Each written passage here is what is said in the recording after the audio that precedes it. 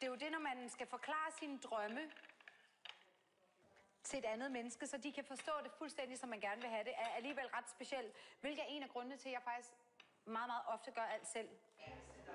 Er I ved at være klar til en lille cocktail? Kom med ind i gobelingen. Vi laver en smagning på alle cocktailsene. Uh, ja. Så det her, den, den hedder gummer.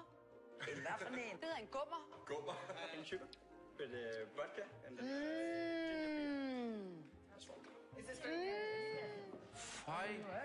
for helvede. Har du nogensinde set en cocktail med en lille saltsild på glasset? Men det er rigtig lækkert.